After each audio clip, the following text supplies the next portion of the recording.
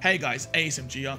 So I was lucky enough to pull the new Orihime, and she does come with a new Brave Battle skills, Persistence. So what happens is when she lands on 1 health, she's able to stay alive for a few seconds and potentially turn the tables. So I thought I'd test it out. I am third seat, not too crazy high. But let's have a look at her. So I did use the Soul Bomb source to increase it 2 out of 5. Um, I only was lucky enough to pull it once. In terms of bonus effects, I have low stamina damage boost.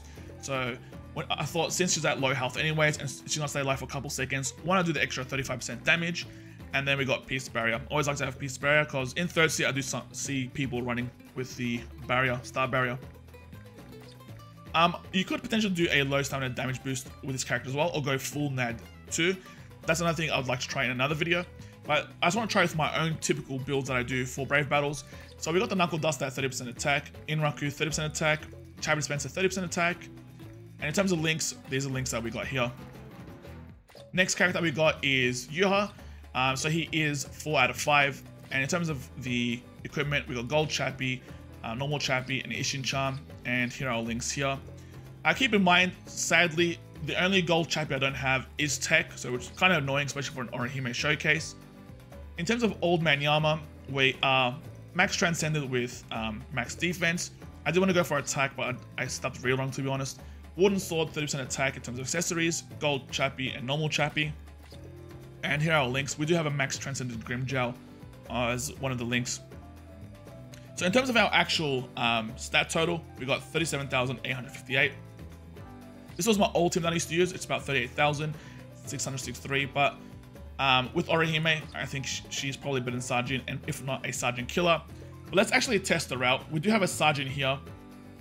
Let's see how we go. I honestly think that this character could potentially be number one. Um, just because she's human as well. That plays a big factor. There's no proper human killers.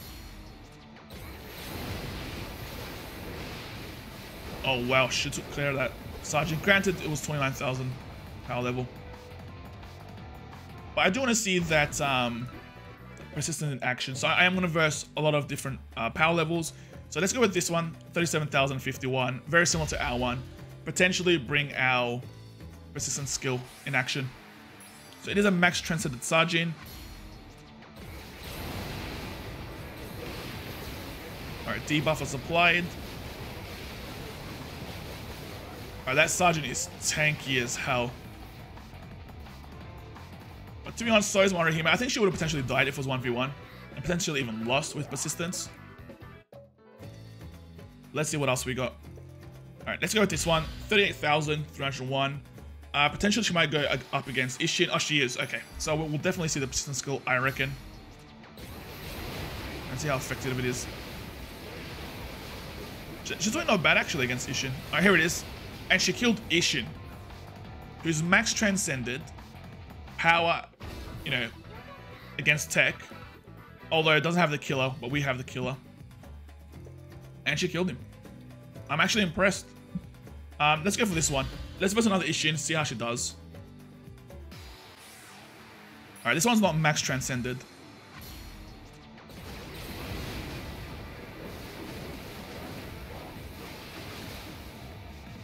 Yeah, to be honest, even if my um, Yamamoto didn't jump in, I think she would have took care of him, to be honest. And again, this is without max transcended links. This is without the gold chappy as well. Um, who should we go for next? I want to go for 51,000 power level.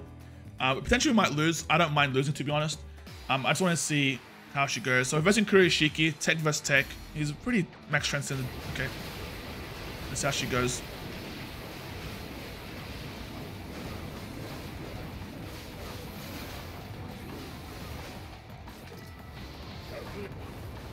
Alright, I did lose, but she did stand their ground against a max transcended um, Kurosaki with people jumping in towards the end as well.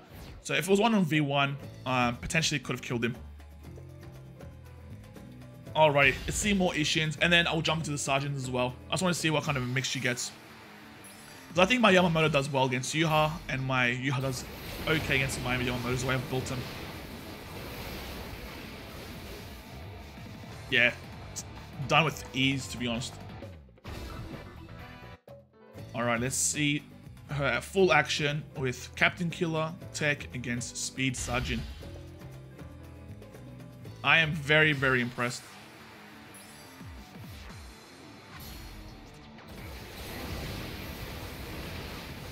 Wow, he's already knocked out at half. What happened there? I think she got affected by status.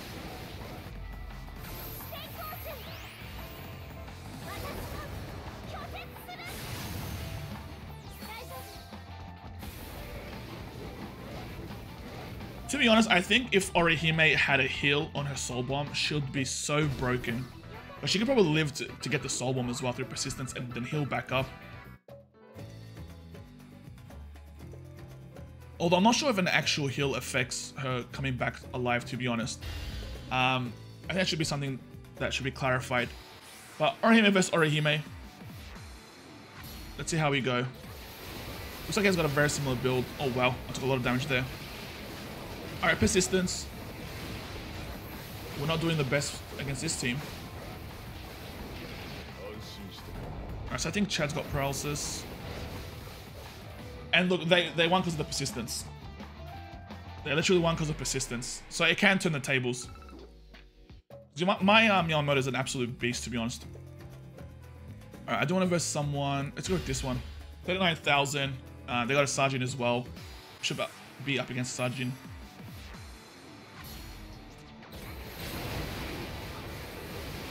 Alright, she just absolutely decimated that Sajin. I think in terms of her, you know, doing crazy damage to start in the previous game or match, and then not doing any damage, I think she was on that status for sure. Alrighty, let's go for... Let's go for this one.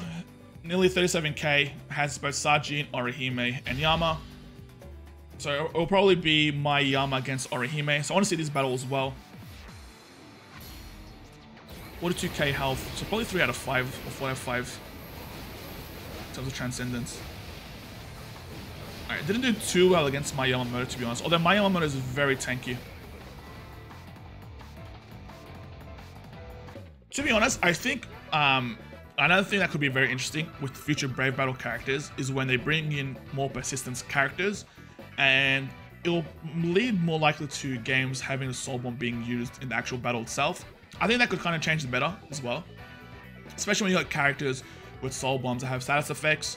And then the other second thing to think about is, you know, back when, you know, Queen, Yachiru, PvP Queen used to have the heal as well, and insta-kill.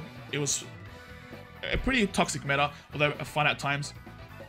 And they could bring that back potentially with uh, the persistent skill, to be honest. So something to look forward to.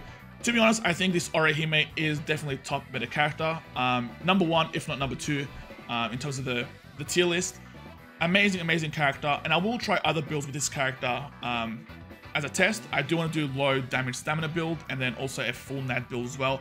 Kind of sucks I don't have a green chappy, but regardless, I do want to test it. However, guys, if you enjoyed this video, like and subscribe for more Bleach Brave Souls content. Um, also, I want to leave a link um, in the comments below uh, for my second YouTube channel. If you can please give that a um, a subscribe and a follow would be absolutely amazing. Thanks for the support. And also guys, Happy New Year and good luck if you haven't already summoned or going to continue summoning and enjoy. Peace.